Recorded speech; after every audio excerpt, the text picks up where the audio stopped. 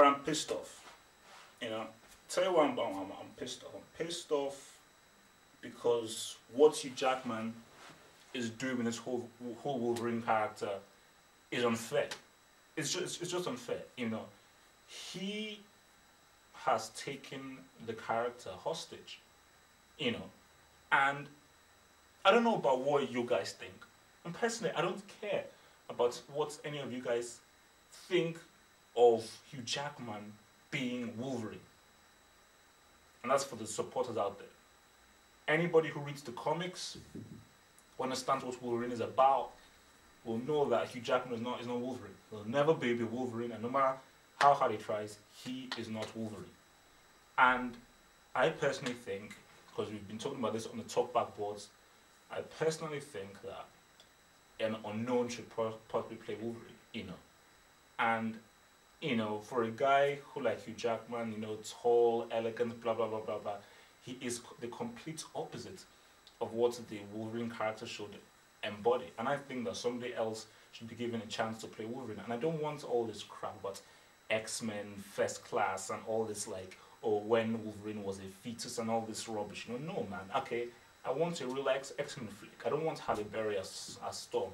I don't want Hugh Jackman as Wolverine. Okay, I want people to actually fit the roles.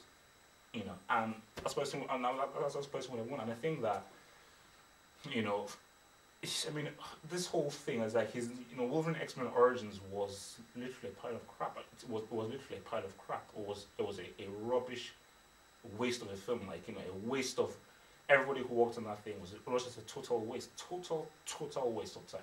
And this guy's is going to get a sequel, a sequel, and really, he's only making that money because of fanboys who just say, "Oh, I've got to go and watch it." And obviously, the woman who loves Hugh, Hugh Jackman.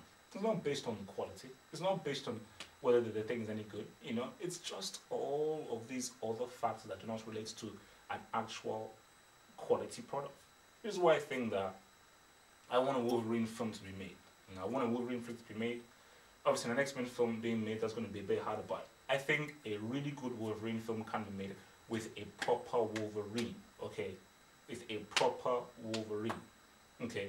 Hugh Jackman is not Wolverine. I don't care what he says at Comic Con. I don't care what he says at WonderCon. And I don't care how much he sucked up to the so-called fanboys who piss me off, by the way. Um, I don't care what he says, okay? The fact is that he is not Wolverine and somebody else will be given a chance to play Wolverine. In my opinion, on unknown.